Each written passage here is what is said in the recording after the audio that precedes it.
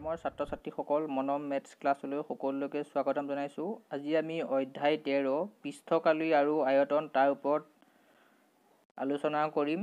তোমালোকে পৃষ্ঠকালি আৰু আয়তনৰ ওপৰত নৱম নৱম শ্ৰেণীত তোমালোকে পঢ়ি আহিছা। আজি আমি অধ্যায় তেৰ যিটো অনুশীলনী তেৰ দশমিক এক তাৰ ওপৰত আলোচনা কৰিম।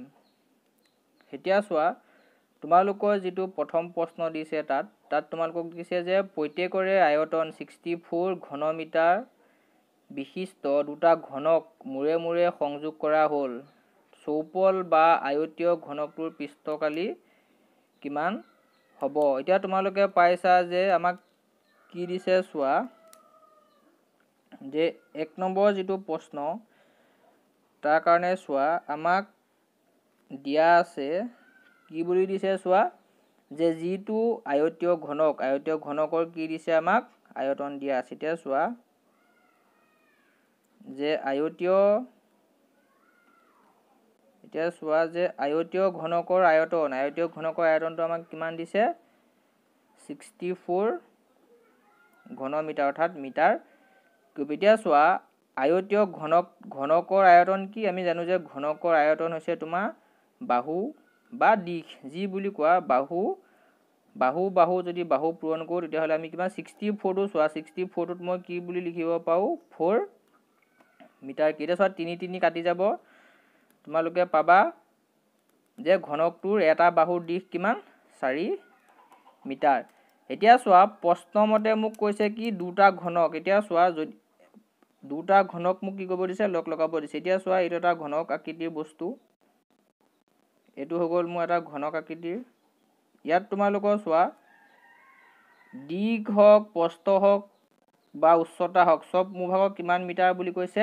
চাৰি মিটাৰ। ইয়াত কৈছে যে আমি ইয়াৰ লগতে আমি যদি আৰু এটা ঘনক আমি যদি দুটা ঘনক সংযোগ কৰি দিওঁ তেতিয়াহ'লে মোক কি কৈছে যিটো নতুন ঘনক হ'ব তাৰ পৃষ্ঠকালি কিমান হ'ব বুলি কৈছে। এতিয়া চোৱা যদি মই দুটা ঘনক লগ লগাই দিওঁ মোৰ উচ্চতা আৰু প্ৰস্থ একে থাকিব। বাকী মোৰ যিটো দিশ হ'ব দিশটো কি হৈ যাব মোৰ বাঢ়ি যাব। এতিয়া চোৱা যদি মোৰ এইডোখৰ পৰা এইডোখৰলৈ চাৰি চেণ্টিমিটাৰ হয় ইয়াত যদি মই আৰু এটা লগাই দিওঁ তেতিয়াহ'লে মোক কি হৈ যাব দিশটো? টোটেল দিশটো মোৰ কিমান হৈ যাবগৈ? ফ'ৰ প্লাছ ফ'ৰ মিটাৰ অৰ্থাৎ মই কিমান পাম যে আঠ আঠ মিটাৰ হৈ যাব। এতিয়া চোৱা তেকে কি বুলি কৈছে তোমাক যে আয়তীয় ঘনকটোৰ পৃষ্ঠকালি? এতিয়া চোৱা যে ইয়াত তোমালোকৰ কি হ'ব এতিয়া চোৱা? দিশ দিশটো হ'ব কিমান? মই কৈছোঁৱে যে ফ'ৰ প্লাছ ফ'ৰ অৰ্থাৎ কিমান হ'ব? আঠ মিটাৰ হ'ব তোমালোকৰ। বাকী তোমালোকৰ যিটো প্ৰস্থ প্ৰস্থক আমি কি বুলি কওঁ? বি বুলি জোকাওঁ। বি বুলি কওঁ আৰু বিটো হ'ব তোমালোকৰ চাৰি মিটাৰ আৰু তোমালোকৰ যিটো পাবা উচ্চতা। উচ্চতাক আমি কি বুলি কওঁ হাইট বুলি কওঁ। এইচেদি বুজাওঁ আৰু ইয়াত হ'ব তোমালোকৰ কিমান? চাৰি মিটাৰ। এতিয়া চোৱা আমি জানো যে আয়তৰ পৃষ্ঠকালি এতিয়া চোৱা আয়তীয় ঘনকৰ পৃষ্ঠকালি আমি জানো যে যে আয়তীয় ঘনকৰ যিটো পৃষ্ঠকালি আয়তীয় ঘনকৰ পৃষ্ঠকালি আমি কিদৰে উলিয়াওঁ? Two into L B plus B H plus H L এইকেইটা। এইকেইটা পূৰণ কৰি পেলাই আমি কি পাম? মিটাৰ বৰ্গ। এতিয়া চোৱা তোমালোকে দুই আছে এল লেংথ কিমান কৈছে? আঠ। আৰু বি হৈছে ফ'ৰ। ঠিক সেইদৰে বেছ পাবা তোমালোকে ফ'ৰ হাইটো পাবা ফ'ৰ হাইট পাবা ফ'ৰ লেংথ পাবা কিমান?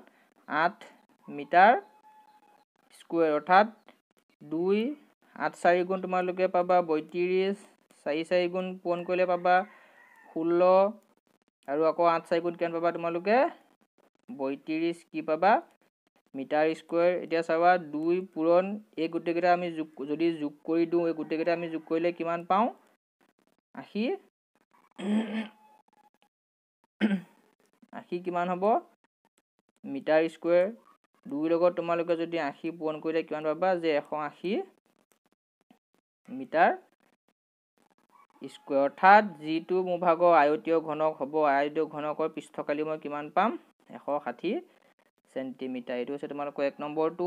ঠিক সেইদৰে তোমালোকে দুই নম্বৰটো চোৱা। দুই নম্বৰটো তোমালোকক কৈছে এটা পাত্ৰ খোলা অৰ্ধগোলক আৰু তাৰ ওপৰত এটা খোলা বেলনেৰে গঠিত। অৰ্ধগোলকটোৰ ব্যাস তোমালোকক দিছে চৈধ্য চেণ্টিমিটাৰ আৰু পৃষ্ঠকালি উলিয়াব লাগে আৰু আমাক উচ্চতা দিছে কিমান? তেৰ চেণ্টিমিটাৰ এতিয়া তোমালোকে দুই নম্বৰটো চোৱা দুই নম্বৰটোত তোমালোকক কৈছে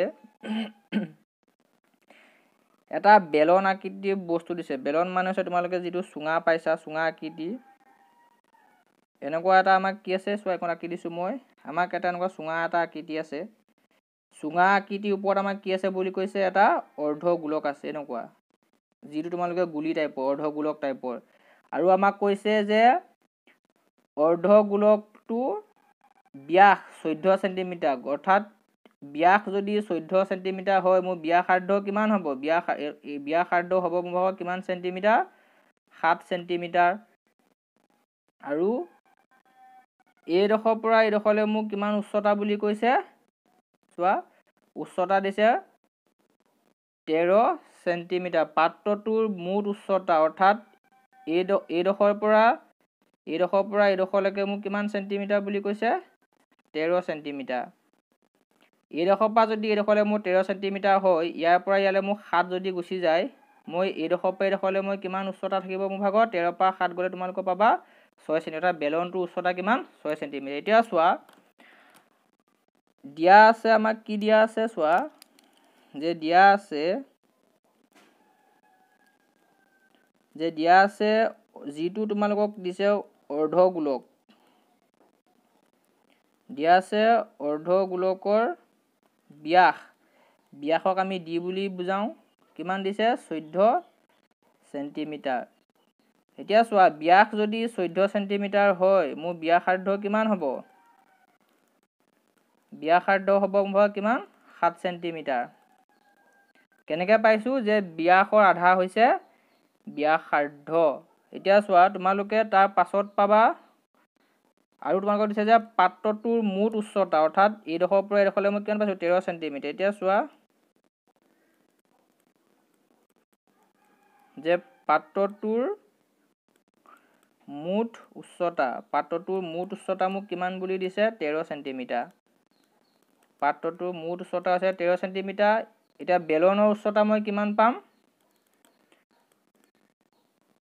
এতেকে চোৱা বেলনৰ উচ্চতা মোৰ কিমান হ'ব? বেলনৰ উচ্চতা হ'ব ইয়াৰ পৰা যদি মই এইডোখৰ বিয়োগ কৰি দিওঁ মই কিমান পাই যাম?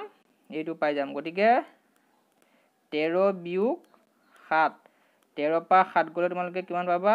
ছয় চেণ্টিমিটাৰ। অৰ্থাৎ বেলনৰ উচ্চতা পালোঁ মই ছয় চেণ্টিমিটাৰ আৰু মোক তোমালোকৰ যিটো দিছিলোঁ অৰ্ধগোলক অৰ্ধগোলকৰ যিটো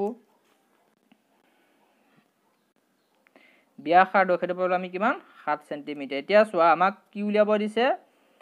আমাক দিছে পাত্ৰটোৰ ভিতৰৰ পৃষ্ঠকালি নিৰ্ণয় কৰে। গতিকে চোৱা পাত্ৰটোৰ ভিতৰৰ পৃষ্ঠকালি কিমান হ'ব? এতেকে পাত্ৰটোৰ এতেকে পাত্ৰটোৰ ভিতৰৰ পৃষ্ঠকালি হ'ব তোমালোকৰ। কি হ'ব? অৰ্ধগোলকৰ ভিতৰৰ ছাইডৰ যিটো পৃষ্ঠকালি আৰু বেলনৰ যিটো ভিতৰৰ পৃষ্ঠকালি সেইটো সমান হ'ব। অৰ্থাৎ অৰ্ধগোলকৰ যিটো তোমালোকে অৰ্ধগোলক পাইছা কি হ'ব যে অৰ্ধগোলকৰ আমাক ইয়াত ভিতৰ বুলি লিখিছে কাৰণে আমি ভিতৰ বুলি লিখি দিম যে অৰ্ধগোলকৰ ভিতৰৰ ভিতৰৰ পৃষ্ঠকালি যোগ বেলনৰ ভিতৰৰ পৃষ্ঠকালি। এতিয়া চোৱা অৰ্ধগোলকৰ পৃষ্ঠকালি সূত্ৰ কি? যে অৰ্ধগোলকৰ পৃষ্ঠকালি সূত্ৰ হৈছে টু পাই আৰ স্কুৱেৰ আৰু বেলনৰ ভিতৰৰ পৃষ্ঠকালি সূত্ৰ হৈছে তোমালোকৰ টু পাই আৰ এইচ এতিয়া চোৱা ইয়াৰ পৰা যদি মই চাওঁ ইয়াৰ পৰা মই কি কমন ল'ব পাৰোঁ টু পাই আৰ কমন ল'ব পাৰোঁ। ইয়াত থাকিব মোৰ আৰ আৰু ইয়াত থাকিব মোৰ কি থাকিব?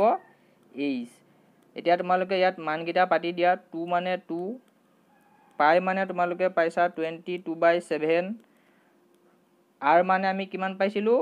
আৰ মানে আমি পাইছোঁ সাত আৰু উচ্চতা আমি কিমান পাইছোঁ? ছয়। এতিয়া চোৱা পৃষ্ঠকালি হ'লে আমাৰ একক কি হ'ব লাগিব? বৰ্গ চেণ্টিমিটাৰ। বা আমি কিউ লিখিম যে চেণ্টিমিটাৰ স্কুৱেৰ। এতিয়া দুই পূৰণটো চোৱা টুৱেণ্টি টু বাই ইনটু সাতৰ লগত যদি তোমালোকে ছয় যোগ কৰা কিমান পাবা? তেৰ পাবা। তেৰ চেণ্টিমিটাৰ স্কুৱেৰ। এতিয়া ওপৰত আছে তোমালোকৰ দুই বাইছ আৰু দুই বাইছ আৰু ইফালে থাকিলে তোমালোকৰ কিমান? আচ্ছা টু পাই। ইয়াত আমি আৰৰ মানটো থাকি গৈছে চোৱা। আৰটো সাত থাকিলে সাত পইণ্ট তেৰ অৰ্থাৎ সাত সাত কাটি গ'ল। দুই থাকিলে বাইছ থাকিলে আৰু কি থাকিলে? তেৰ থাকিলে। চেণ্টিমিটাৰ স্কুৱেৰ এইকেইটা যদি আমি পূৰণ কৰোঁ এইকেইটা আমি পূৰণ কৰিলে পাম তোমালোকৰ five seven two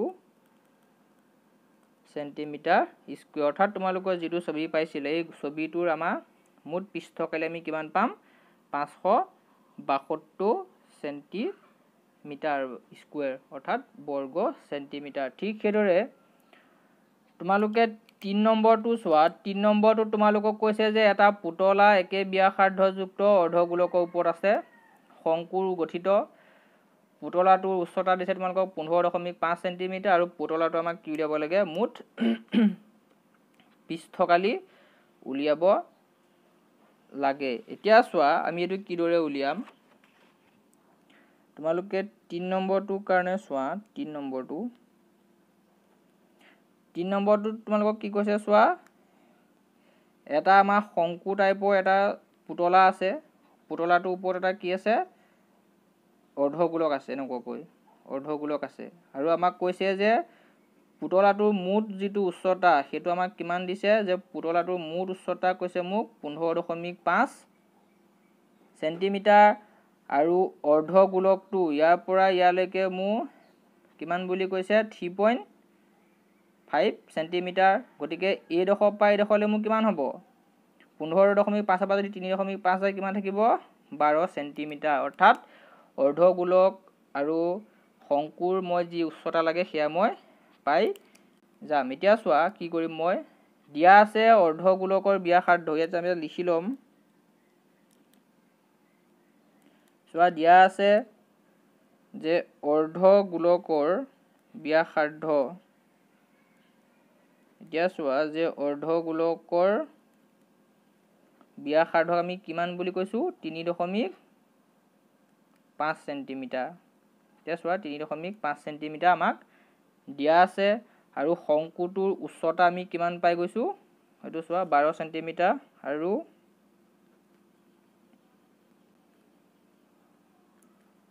আৰু পাম আমি যে শংকুৰ উচ্চতা। শংকুৰ উচ্চতা তোমালোকে কিমান পাবা? সেইটো পৰাইতো বিক কৰি দিছোঁ চোৱা যে পোন্ধৰ দশমিক পাঁচ চেণ্টিমিটাৰ বিয়োগ তিনি দশমিক পাঁচ চেণ্টিমিটাৰ অৰ্থাৎ পোন্ধৰ দশমিক পাঁচৰ পৰা যদি তিনি দশমিক পাঁচ যায় তোমালোকে কিমান পাবা? যে বাৰ চেণ্টিমিটাৰ এতিয়া আমি কি কৰিম? যে অৰ্ধগোলকৰ পৃষ্ঠকালি উলিয়াম। এতেকে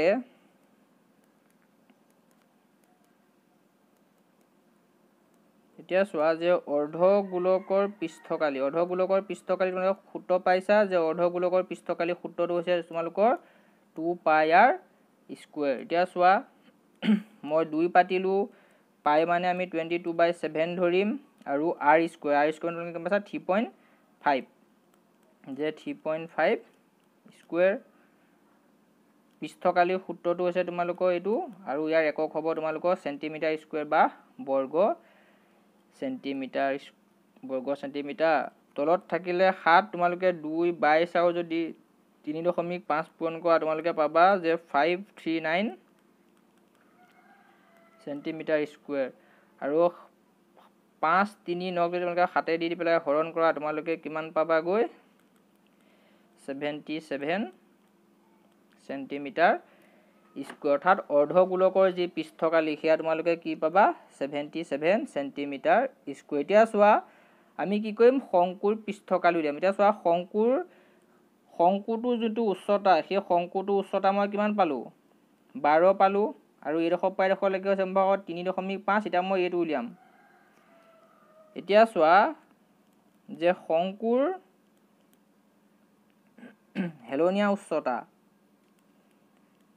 আমি কি কৰিম যে শংকুৰ হেলনীয়া উচ্চতা উলিয়াম শংকুৰটো হেলনীয়া আমি এল দি পেলাই বুজাম আৰু ইয়াৰ হ'ব উচ্চতা বৰ্গ যোগ ব্যাসাৰ্ধৰ বৰ্গ।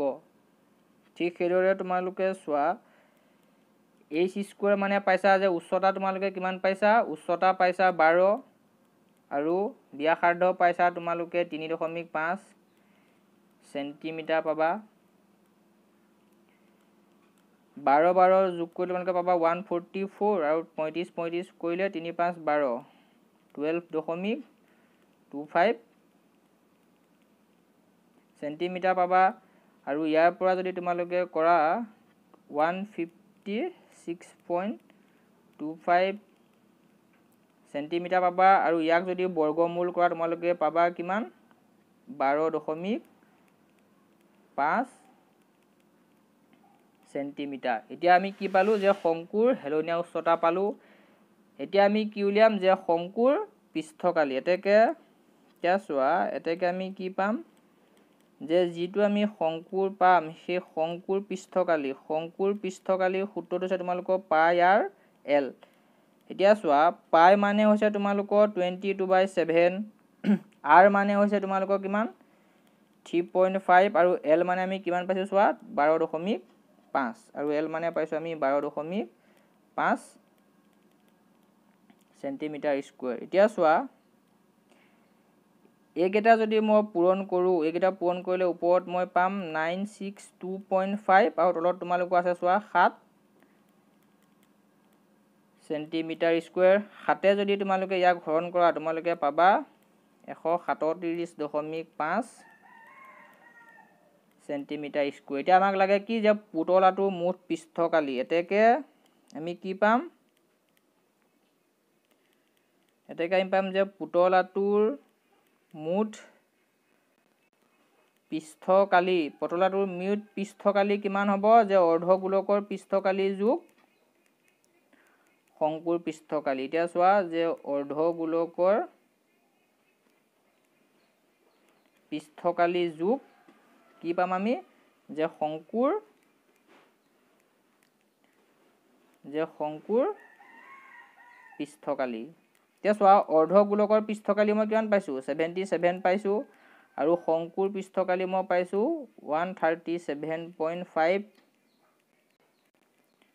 centimetre square এইকেইটা যেতিয়া তোমালোকে যোগ কৰি দিবা এইকেইটা যোগ কৰিলে পাবা তোমালোকে দুশ চৈধ্য দশমিক পাঁচ চেণ্টিমিটাৰ স্কুৱেৰ অৰ্থাৎ তোমালোকে তিনি নম্বৰত তোমালোকৰ যিটো কৈছিল যে পুতলাটোৰ মুঠ পৃষ্ঠকালি সেইটো কিমান হ'বগৈ? দুশ চৈধ্য দশমিক পাঁচ। এতিয়া তোমালোকে চাৰি আৰু পাঁচটো কৰি চাবা। এতিয়া তোমালোকে চোৱা ছয় নম্বৰটো চোৱা। ছয় নম্বৰটোত তোমালোকক কৈছে যে এটা কেপচুল আকৃতিৰ সদৃশ এটা আমাক কি আছে? বস্তু আছে তাৰ আমাক পৃষ্ঠকালি উলিয়াব দিছে। তোমালোকে ছয় নম্বৰটো চোৱা। তোমালোকে কেপচুল দেখি পাইছা কেপচুল দেখি কেপচুলৰ আকৃতি দেখি পাইছা কেপচুলটো আমাৰ কেনেকুৱা মাথাটো এনেকুৱা গোল টাইপৰ গোল টাইপৰ এইটোতে আমি দুটা বেলন আছে বুলি ধৰি ল'ম। এইটো হৈছে অৰ্ধ গোলক। এতিয়া চোৱা আমাক কৈছে যে যিটো তোমালোকক পিল দিছে সেই পিলটোৰ মুঠ যিটো দৈৰ্ঘ্য অৰ্থাৎ এইডোখৰৰ পৰা এইডোখৰলৈকে মোক কিমান বুলি কৈছে?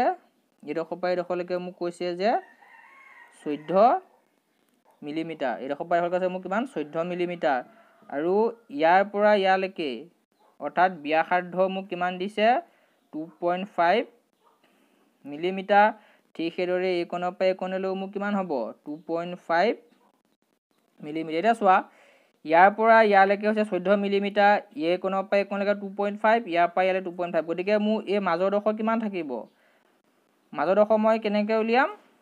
মাজৰডোখৰ কাৰণে মই কৰিব লাগিব চৈধ্য দশমিক দুই দশমিক পাঁচ যোগ দুই দশমিক পাঁচ অৰ্থাৎ চৈধ্য এইকেইটা যোগ কৰিব লাগে পাবা পাঁচ মিলিমিটাৰ অৰ্থাৎ চৈধ্য বা পাঁচ গ'লে কিমান পাবা ন মিলিমিটাৰ অৰ্থাৎ এইডোখৰ মোৰ যিটো জোখ হৈছে সেইডোখৰ হৈছে মোৰ কিমান ন মিলিমিটাৰ। এতিয়া চোৱা বেলনটোৰ ব্যাসাৰ্ধ ইয়াত চোৱা ইয়াত ইয়াত কি হ'ব? বেলনৰ ব্যাসাৰ্ধ। বেলনৰ ব্যাসাৰ্ধ ব্যাসাৰ্ধক আমি আৰ দি বুজাওঁ। কিমান হ'ব? যে দুই দশমিক পাঁচ মিলিমিটাৰ। ঠিক সেইদৰে বেলনৰ যিটো উচ্চতা বেলনৰ উচ্চতা কিমান হ'ব? বেলনৰ উচ্চতাটো আমি এইচ দি পেলাই বুজাম। আৰু বেলনৰ উচ্চতা তোমালোকে চোৱা ন মিলিমিটাৰ। আমি ক'ত পাইছোঁ ন মিলি মিলিমিটাৰটো? এইটো। এইকণৰ পৰা এইকণলৈ চাবা ন মিলিমিটাৰ। এতিয়া চোৱা আমাক কি লাগে কেপচুলটোৰ পৃষ্ঠকালি। এটাকে আমি কি কৰিব পাৰোঁ? এতিয়া চোৱা এতেকে কেপচুলটোৰ কেপচুলটোৰ পৃষ্ঠকালি হ'বলৈ হ'লে মই কি কৰিম চোৱা বেলনৰ পৃষ্ঠকালি আৰু দুটা অৰ্ধগোলকৰ পৃষ্ঠকালি। অৰ্থাৎ যিটো মোৰ বেলন আছে যে বেলনৰ পৃষ্ঠকালি যোগ দুই পূৰণ অৰ্ধগোলকৰ পৃষ্ঠকালি। কাৰণ মোৰ কি আছে যে অৰ্ধগোলক মোৰ দুটা আছে। অৰ্ধগোলকৰ পৃষ্ঠকালি। এতিয়া চোৱা বেলনৰ পৃষ্ঠকালি সূত্ৰ কি আছিল? বেলনৰ পৃষ্ঠকালি সূত্ৰটো তোমালোকে পাইছা টু পাই আৰ এইচ আৰু অৰ্ধগোলকৰ পৃষ্ঠকালি পাইছা টু পাই আৰ স্কুৱেৰ। এতিয়া two into two pi r square. কাৰণ আমাৰ অৰ্ধগোলক কেইটা আছে?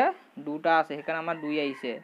এতিয়া চোৱা ইয়াৰ পৰা যদি মই টু পাই আৰ কমন লওঁ মোক কি থাকিব? এইচ প্লাছ টু আৰ থাকিব। এতিয়া তোমালোকে ইয়াত মান পাতি দিয়া। টু মানে টু পাই মানে তোমালোকে পাবা twenty two by seven. R মানে তোমালোকৰ হৈছে থ্ৰী পইণ্ট ফাইভ। উচ্চতা তোমালোকে পাইছা ন। আৰু দুই পূৰণ আৰ মানে হৈছে তোমালোকৰ কিমান? Two point five. এইটো তোমালোকৰ টু পইণ্ট ফাইভ আছিল। Two point five. Centimetre square এতিয়া চোৱা two into twenty two by seven into two point five into এই দুটা পূৰণ কৰিলে তোমালোকে পাবা পাঁচ গতিকে নয়ে পাছে কিমান হ'ব? চৈধ্য চৈধ্য মিলিমিটাৰ স্কুৱেৰ এইকেইটা তোমালোকে কটা কটি কৰিলে ইয়াক যাব দুই তোমালোকে থাকিব two into twenty two into two point five into two millimetre square অৰ্থাৎ এইকেইটা তোমালোকে যদি পূৰণ কৰা তেতিয়া তোমালোকে পাবা দুশ বিছ মিলিমিটাৰ স্কুৱেৰ অৰ্থাৎ আমাক যিটো তোমালোকৰ কেপচুল আকৃতি দিছিল এই কেপচুল আকৃতিৰ যিটো বস্তু তাৰ পৃষ্ঠকালি আমি কিমান পামগৈ? দুশ বিছ মিলিমিটাৰ ভিডিঅ'টো চাই হয়তো তোমালোকে বুজি পাইছা যে পৃষ্ঠকালি আয়তন আৰু বক্ৰপৃষ্ঠকালি বেলনৰ হওক বা শংকুৰ হওক বা তোমালোকে ঘনকৰ হওক কিদৰে উলিয়াব পাৰি সেয়া শিকিছা। আৰু তোমালোকে নতুন নতুন ভিডিঅ' পাবৰ কাৰণে আমাৰ চেনেলটো ছাবস্ক্ৰাইব কৰি দিবা আৰু যদি কিবা বুজি পোৱাত অসুবিধা হয় তোমালোকে আমাক কমেণ্ট কৰি জনাবা। আৰু ভিডিঅ'টো চোৱাৰ কাৰণে অশেষ ধন্যবাদ।